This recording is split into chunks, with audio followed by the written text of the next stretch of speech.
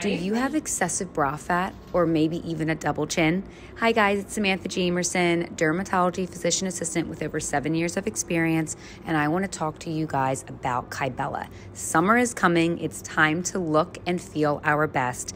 Kybella is a non invasive injection that uses deoxycholic acid, and when deoxycholic acid is injected into fat cells, it destroys them and they cannot come back. This treatment takes about 10 to 15 minutes to do in the office. We recommend anywhere from two to three treatments spaced out about four to six weeks apart.